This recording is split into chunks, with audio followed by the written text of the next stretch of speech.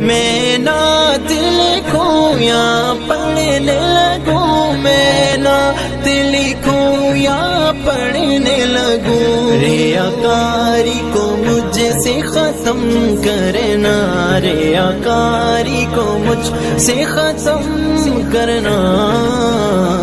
मेरे करीम करम करना, ऐ मेरे करीम करम करना।